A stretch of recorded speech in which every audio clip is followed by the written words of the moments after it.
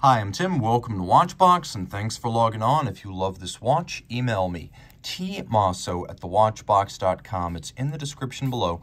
It is your purchase and pricing email question line for buying this or any watch you see on any Watchbox platform. Please reach out to me directly. Email tmosso at thewatchbox.com for pricing. Today, we're discussing the Patek Philippe World Time 5231J001. This is the cloisonné enamel model that was launched in 2019 and discontinued after 2021. And the timepiece is a nice 38.5 millimeters in diameter in yellow gold, so universally wearable, 10.2 millimeters thick. It is 46.7 millimeters from lug to lug with a 20 millimeter spacing between the lugs. We'll throw it on my wrist, which is 16 centimeters in circumference and wears quite beautifully. Comfortable, compact, flat enough to fit underneath a sleeve, and elegant.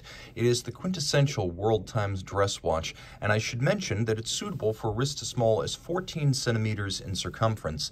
The timepiece is versatile in that its function is almost universally appropriate, as you can keep track of far-flung friends, family, and business associates all at once.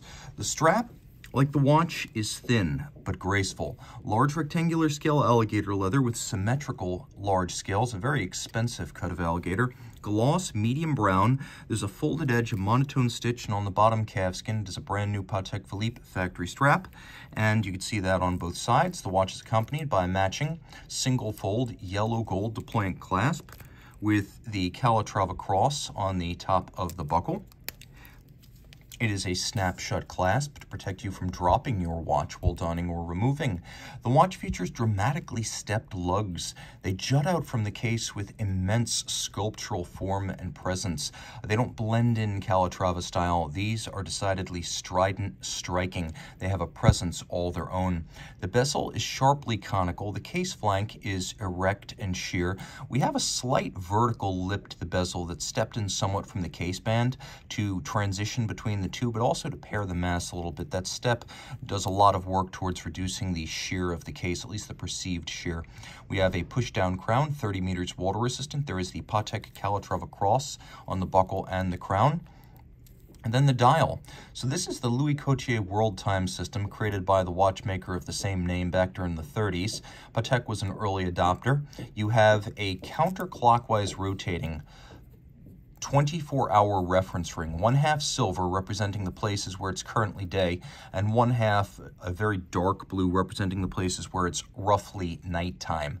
Now you read the hour adjacent to the city, and then you look at the center for the minutes. So there are 24 principal time zones. This gives you 24 reference cities. So I could see it is 6 a.m. in Dubai just before morning. I can see that it is currently noon, high noon in Sydney. I can see that it is 8 p.m. in the evening in Mexico. And then if I want to change my current city, my current city in, currently is South Georgia. You can see that is more of a location than a city. But you can see I'm in South Georgia now. Now to change my location, I've gone to Dubai. So you can see it's still 6 a.m. in Dubai, but it has made an adjustment so that I have Dubai time at center, and then I still have all my reference cities correctly represented relative to the 24-hour reference ring. But a standard 5230 has that. This is the 5231, which means it's the cloisonné enamel dial. Now, you can get a 5230 with a relatively short wait, but to buy a watch like this, you need to apply and be approved. They need to be confident that you really want the watch.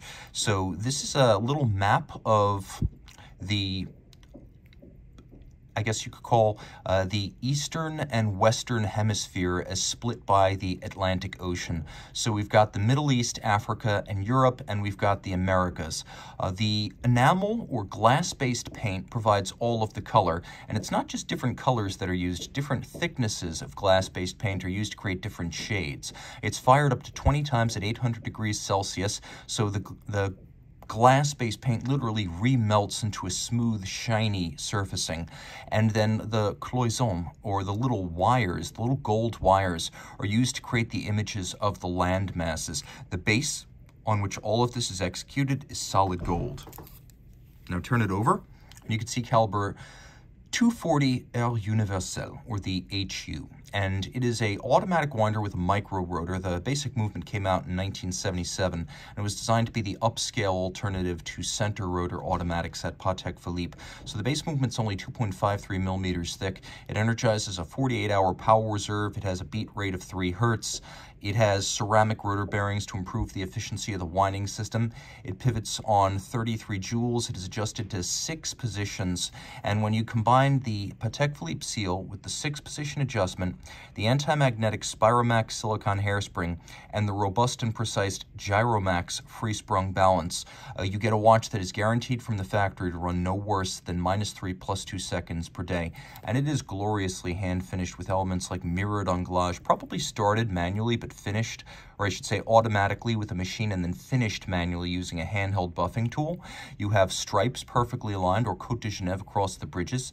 The beveling on the edge of the bridges, the rounded mirrored shine, is matched by the polished sinks for each of the jewels. We have engine turning in two different sizes, at least two different sizes on the base plate. All screw heads are black polished with chamfered slots and circumference. And then you can see even the locating pegs used to place the bridges on the base plate, like the three here on the balance cock, those have been black polished on their tips. All the wheels, including the base of the rotor, the ratchet wheel atop the barrel, and then the train wheels, they've all been satinated, or brushed. Reach out to T. Mosso at thewatchbox.com for purchase and pricing details.